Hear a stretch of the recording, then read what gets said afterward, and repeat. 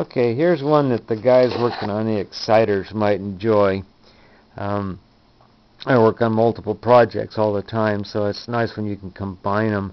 But this new pulse circuit that uh, I found and I've been working on works wirelessly with an exciter.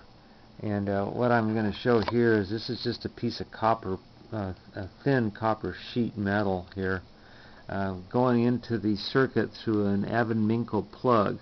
Diode goes this way, diode goes that way. It's just a one-wire feed.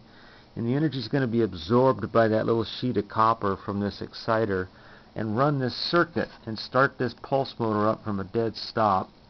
And uh, I was glad to see that the frequencies don't interfere with one another. This runs in the megahertz range. This runs in kilohertz range. And they're compatible. Let me turn this on. I'll show you how it works here. Okay, watch this now. There it goes.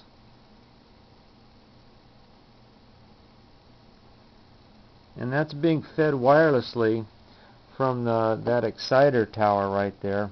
see that light's on there. That's 110 volt uh, Lights of America. Running off a 9 volt rechargeable battery. It's a simple uh, Slayer exciter. Uh, this was my mini Tesla coil one that I, am actually using on the boat. And it's just picking it up off this uh, copper plate that's in proximity to that. And you can see this motor is just revved way on up here. And that LED is just going to town. Let me stop it again. I'll show how it works here. See that blink. There goes the rotor, faster and faster and faster. And like I say, this is uh, was interesting to me that the frequencies did not interfere with one another. And like I say, this is running in megahertz range, and this is running in kilohertz range, and they're compatible. And this is the energy coming off this plate here. And that's being absorbed uh, through the air. There's no link between these two at all. This is the wireless field around this exciter, just like a Tesla coil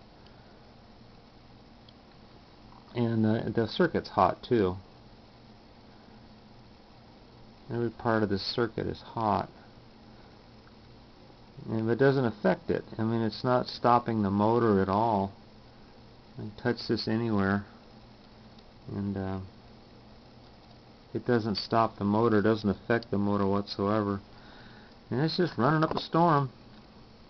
And that's wirelessly off this uh, pickup from this uh, sheet of uh, copper coming off the energy off that little uh, exciter coil. So anyway, that's kind of fun to to find out that that worked, that they're compatible, and that this would self-start. And that was another thing that I, I really like about this circuit is it will self-start. It starts kicking itself around and the frequencies don't interfere with one another.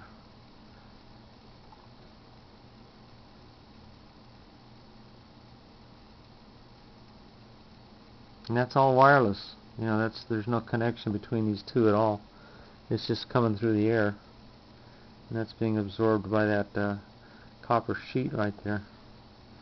I've tried different towers and different receivers for this. They all work, but a simple, a simple sheet of um, sheet metal like that uh, copper, aluminum, whatever, will pick up this energy and put it into whatever you want to put it into.